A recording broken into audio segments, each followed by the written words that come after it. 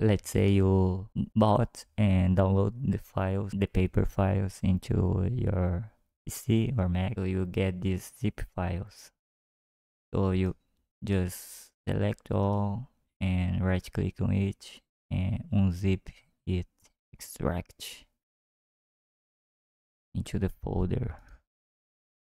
There's a quick way to import the, the files, but there's a easy way to make it. Just go to the search and hit dot png.